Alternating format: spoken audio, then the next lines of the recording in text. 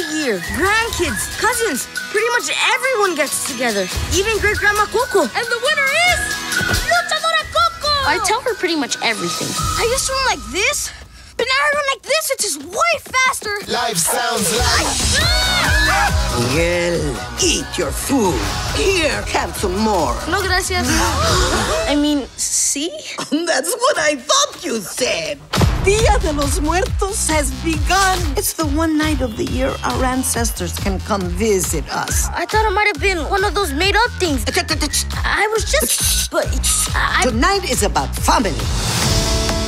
I am not like the rest of my family. There's something that makes me different. Great great grandfather, I want to be a musician just like you. All right, who's in there? I'm sorry. Welcome to the land of your ancestors.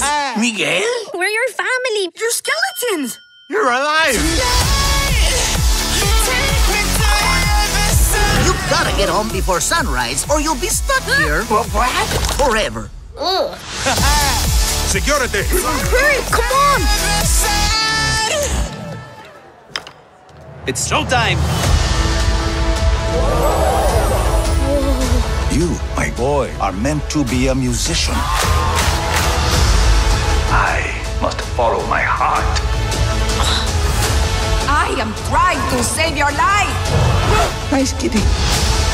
Miguel, something's mattered more than music. Sorry. We may have our differences, but nothing's more important than family. I'm proud we're family!